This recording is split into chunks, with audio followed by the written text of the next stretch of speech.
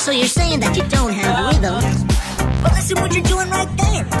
With that stamp and a book, you got a real nice hook. Sounds to me like you got rhythm to spare. I have no idea what you're talking about. I've got as much rhythm as that chair.